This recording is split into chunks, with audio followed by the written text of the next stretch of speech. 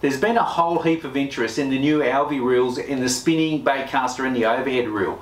Now I was given the Alvey Orbiter baitcaster reel six months ago to take it through its paces, to do what I wanted to do with it and to flog it basically and to see what it's like. And this is my review on the Alvey Orbiter baitcasting reel.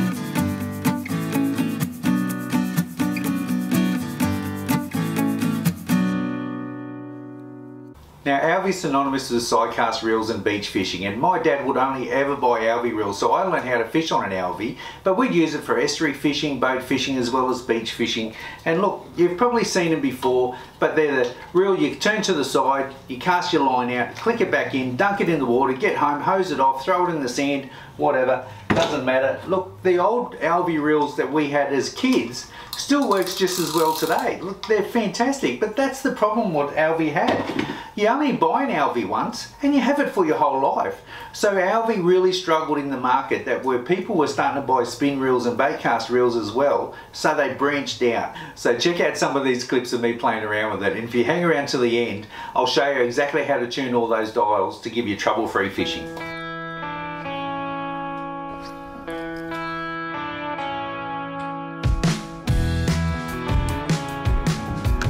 Yeah.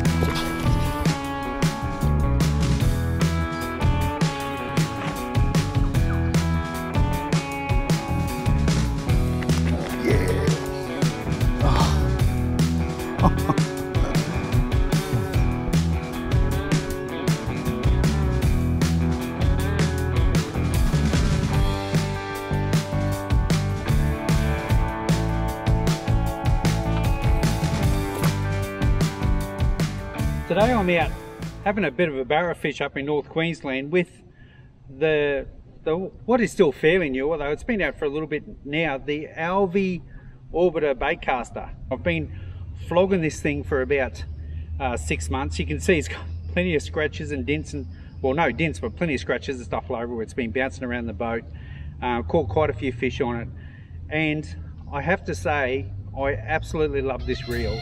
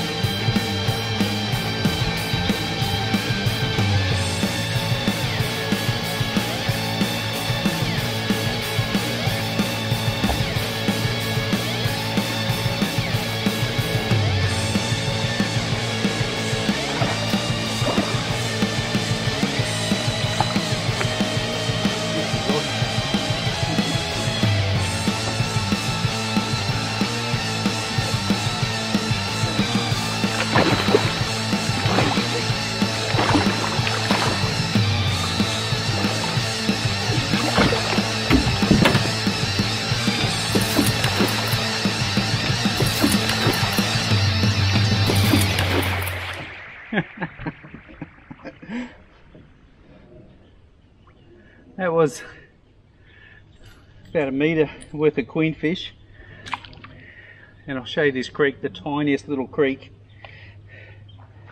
The Alvey reel is unbelievable but I should have got the Alvey rod to go with it.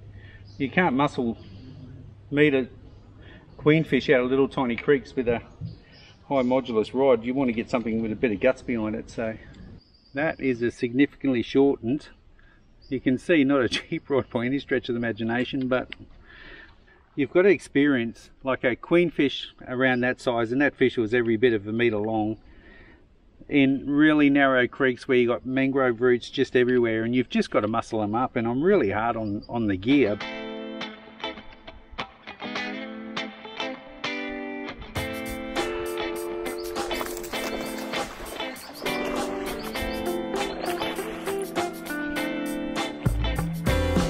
It's kind of a bar. It's, uh, just caught myself a barracuda. I'm not being handled too much, so I'm going to slip them straight back in the water pretty quickly. But uh, at the fangs on these things. They're, they're insane. I'll get him straight back in the water. Uh, my favourite table fish, the grunter, so this guy's in a little bit of trouble. After six months of using this thing, uh, what I love about it is the reel is fantastic. The handle feels really good. You can, it's just got a really nice feel to that handle. It hasn't bent and that's pretty significant because there's been a lot of reels I've had over the years where the handle's just bent a little bit because I'm bouncing that thing around the bottom of the boat all the time and when you wind and you've got a little slight bend in the handle it feels very uncomfortable but these have been great probably one of the things I do like about it even more than the handle is once that I set the preload on the spool itself I don't have to touch it again unless I change the weight of the lure but the rest of the reel the the bearings um, feel really smooth. They haven't got noisy on me at all. And I've thrown this thing, I've probably done 100 hours or, or, more of fishing with this thing and it's still really, really smooth. I haven't oiled them up or anything. Um, the magnets on them are really good. They seem to be very effective. If I do turn around and I cast into the wind, so change direction of my cast, I just click that magnet maybe one click and it fixes it up. I won't get any backlash. If I do feel any backlash on my thumb, I'll just smooth that magnet one or two clicks and it's fantastic. Uh, the other thing, I've got to give it 10 out of 10 for value for money. For value for money, it's better than the 400 500 dollar bait casters I got, and I can say that with my hand on my heart. It's a beautiful reel. The other thing you could see when I was muscling that queenfish is that it's got a really effective drag on it. I did lock down on it when it ran, ran me around those mangrove roots, and I had to pull it out through the other side the rod snapped, you know, so be it. That's, that's fishing. But the drag system is so smooth, it's lovely. And what I don't like about the reel, I really can't tell you. There's, um, look, there's really nothing negative I've got to say about it.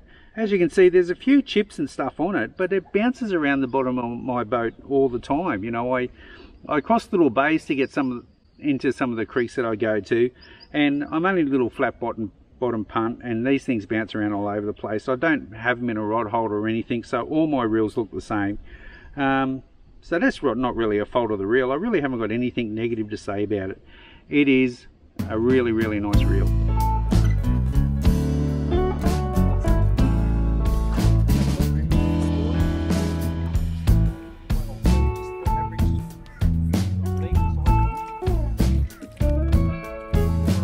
Very big fish. I was hoping to get some real big ones, but we'll keep fishing away and see how we go.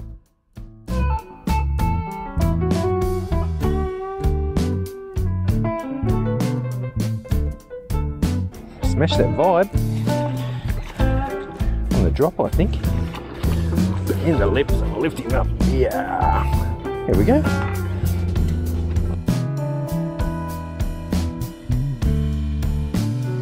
So as promised, we're going to talk about how to use the adjustments on these bait casters. The most important thing about using a bait caster is setting the adjustments. And you've got two. You've got a magnetic brake, and on the side of the Alvey Orbiter, that's a little click dial. You can see there's a minimum and a maximum setting. It says minimum just there and maximum on this side. On the other side of the reel, on the handle side, you have a dial, and that's the preload on the spool. Okay, so you set the dial, the preload on the spool, according to the weight of the lure, and you set the magnets according to the conditions you're casting in. So I'll explain that as I do both of them. So the first thing I'm going to do is set the preload on the spool, and you set that according to the weight of the lure. So this lure I've got on here is reasonably heavy, and you can see if I open up the the spool into the casting position, the lure falls slowly to the ground and I don't have any line spooling off the reel as it's as it hits the ground. If I loosen that right up and I drop it down now, it'll fall way too quick and I've got all this loose line that's come off the spool and that's just going to give me problems. So I'm going to I'll readjust it just so I've got a nice slow fall. That's a little bit too quick. That's not falling at all. Alright, let's check that one out. Falls to the ground, no backlash, the line stops. The other setting is this magnet on the side, and what that is is your brake. Because when you throw a lure in the air, it slows down as it flies through the air, and before it hits the water, it slowed down significantly more than what it was when you first started the cast, and that's where the brakes come in.